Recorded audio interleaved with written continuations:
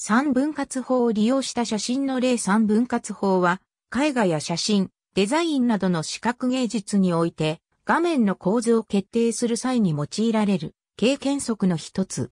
3分の1の法則とも言う。この法則は、等間隔に引いた水平線と垂直線2本ずつにより、画面を9等分すると仮定し、それらの線上、もしくは線同士の交点上に構図上の重要な要素を配置すると、バランスが取れて安定した構図が得られるというものである。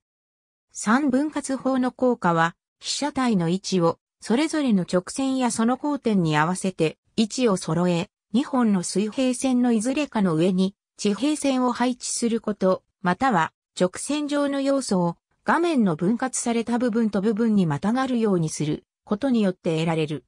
三分割法に従うことの主な理由として、画面の中心に被写体を置くことや、地平線が写真を真っ二つに分断してしまうことを回避することがある。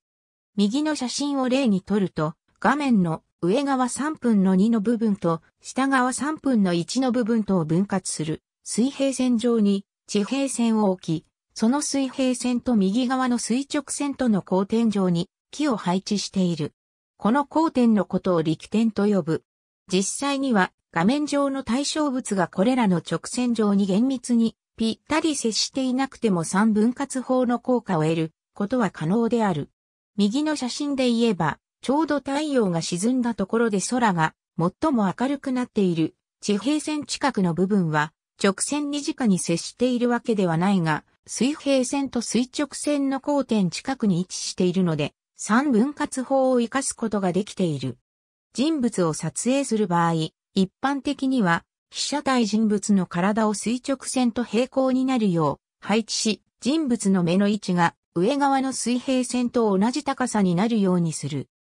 動いているものを撮影する場合は、同じパターンにのっとった上で、被写体が動いている方向に合わせて被写体の前の空間を余分に取ることが多い。この空間のことをリードルームという。もっとも、本法則はいかなる状況でも絶対的に正しいというものではないため、本法則を含め、作図上の基本的な決まりごとにこだわりすぎることは、あまり推奨されない。そういった決まりごとを無視することによって、かえって効果がもたらされる状況も数多く存在する。